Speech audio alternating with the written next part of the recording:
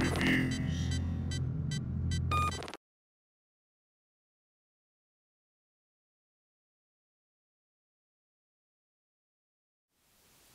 Hi, welcome to Trubritar's videos. Today we're going to take a close look at EVGA's GTX 590 Classified Edition graphics card.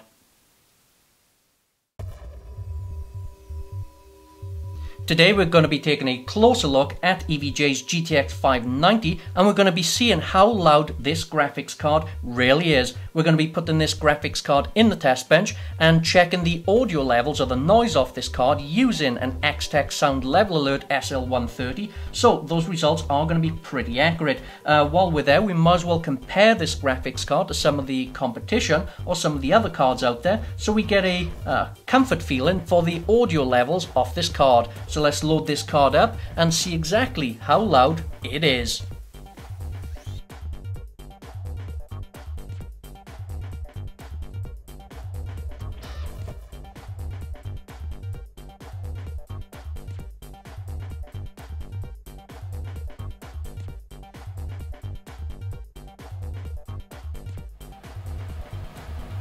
Okay, this is test one. We're going to be checking the sound levels coming off the Radeon HD 6990. We're going to go into the Catalyst Control Center.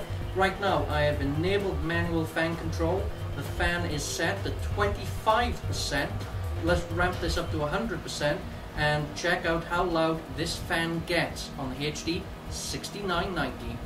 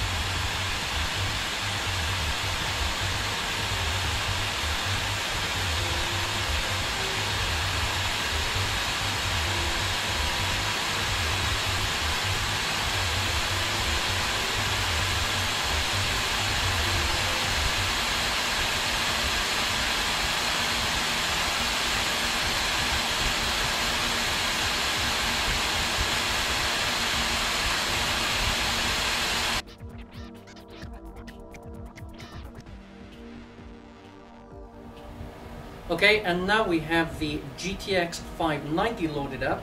So let's take the fan speed all the way to the max, take it off automatic, and let's see exactly what this card sounds like.